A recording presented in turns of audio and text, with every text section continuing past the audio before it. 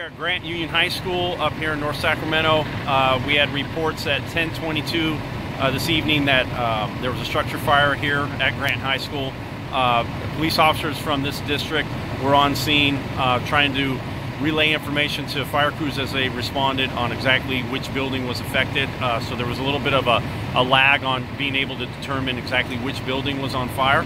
Uh, once they determined it, it was a far setback, meaning the engines where they could park, they had a long stretch of hose to get to the uh, building affected by fire. Once they got there um, and water supply was uh, connected, um, uh, they pulled their lines and, and, and that uh, the, the building they found is a fixed building. It's not a portable classroom, and there was one classroom fully involved in fire.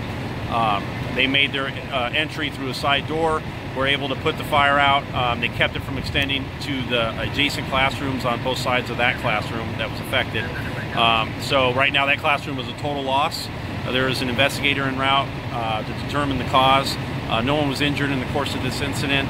And right now, fire crews are not going into that classroom because there's a large air, condition, air conditioning unit on the roof, and that uh, the ceiling seems to be sagging and compromised. So, um, to, for the safety of the firefighters on scene, no one's going inside that classroom right now.